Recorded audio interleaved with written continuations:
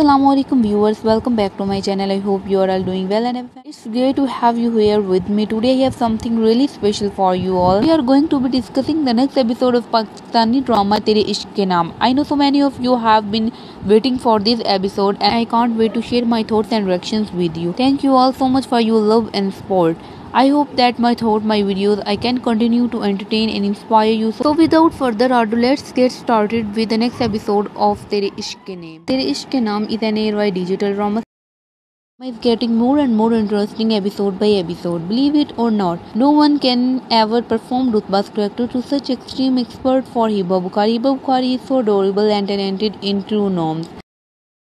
रुतबा को अपनी तरफ़ करने की कोशिश करेगा वो उससे बहुत सारे यकीन और वादे करेगा। तो गाइस आपको क्या लगता है कि क्या रुतबा दोबारा अल्तमश की बातों में आ जाएगी?